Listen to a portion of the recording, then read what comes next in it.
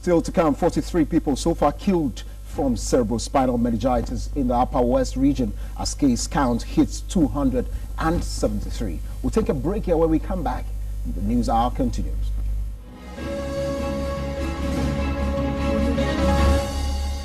The management and staff of the Ghana Agricultural Sector Investment Program, GASIP, under the Ministry of Food and Agriculture, MOFA, has presented 1,400 pieces of disposable face masks to the South Tongu District and the Richard Nova Novati Catholic Hospitals at Sogakope in the Volta region. Our Volta and Oti regional correspondent was there for News Hour.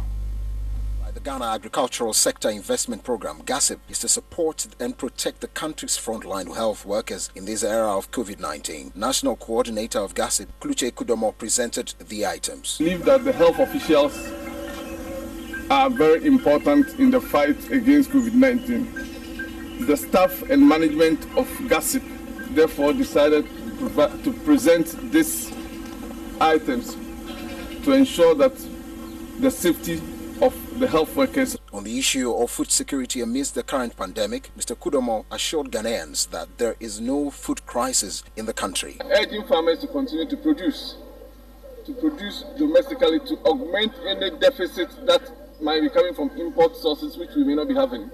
So we don't see any crisis at all. Once we increase production, the rainy season has started. We are urging all farmers to go to the farm, make sure they crop their, their lands maize, soya, rice, which the government is heavily subsidizing under the planting for food and jobs so that production will be increased. District Chief Executive for South Tongu, who is also chairman of the District Public Health Preparedness Management Committee on COVID-19, Emmanuel Louise Agama, who received the items, acknowledged the timeliness. These items, and we thank you very much for the kind donation that you've made. It's timely. Uh, this is in pursuit of government efforts uh, to stop the spread of uh, COVID-19. Uh, we urge uh, other uh, benevolent uh, organizations to emulate the example of the group and donate more.